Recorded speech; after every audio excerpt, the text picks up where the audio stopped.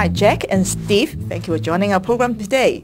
Well, um, I know FTI purchased International Risk three years ago. Can you tell us why you make such a decision for the acquisition and do you think the acquisition was successful? Yes, our formula around the world has been to associate ourselves with someone who is local, who has impeccable reputation, has great contacts and great clients, and we couldn't have picked a better person with Steve. And now the game plan going forward is to add our other services as appropriate in this area of the world.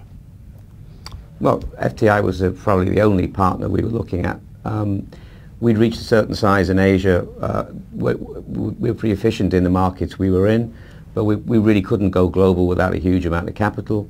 Um, and we recognized that FTI was, is and was truly global and is and was growing. Uh, so again, it made, a, it made an ideal partner. And again, the service suite that FTI had was complementary, not competitive. So in fact, it just made a lot of sense for both sides. How did the financial crisis affect your business?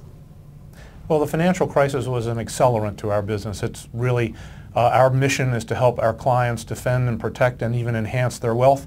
And there's never been an attack on wealth such as this since the Great Depression. So every one of our businesses has been integrally involved in everything from the Madoff situation to the Lehman Brothers to um, the automotive crisis and just around the world globally, all of our segments have been very busy dealing with these issues.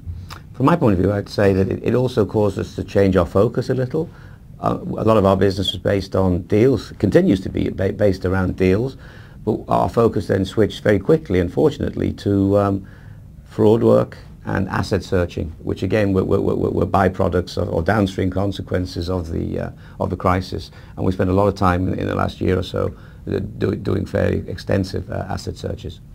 I know FTI was involved in the Madoff scams investigation. Can you tell us a little bit about this case? Yes, well, obviously about uh, this time last year, I was at home one night and we got a call asking if we could help in that, and we were hired by the um, trustee in the case to help him trace and to uh, figure out who had been involved and that kind of thing. So for the last, uh, you know, 12, 13 months, we've been actively involved all around the globe in looking for assets, in uh, looking for causes of action and trying to recover proceeds for the people. Uh, on a personal note, where I live in Palm Beach, Florida in the United States, that was directly involved in that community and it stripped literally billions of dollars out of there and it's been a worse factor on that economy than the economy has. Do you think there is someone like Madoff in Hong Kong? For sure there will always be Ponzi schemes, get-rich schemes. I think, uh, without going into the details of the case, I think we've just had a, a retired partner of an accounting firm uh, disappear with um, with the client, with, a, with, a, with, apparently with a lot of clients' money. I'm afraid this is a downstream consequence of, of a bad economy. But even in a good economy, people will people will try. I like to say that, frankly, there's been no outbreak of honesty in Asia recently, and it's pretty unlikely this year too. Well, we all know China is up and coming, but then it's not a country um, open to the foreigner. Do you think it's very difficult to do the due diligence? No, on the contrary. Uh, yes, it's not easy, uh, and of course if it was easy anyone could do it, but for us it's one of our primary markets. Um, our, our, people are local, we have boots on the ground, we have handled hundreds of assignments relating to due diligence of, uh, as, as it relates to investments, political risk.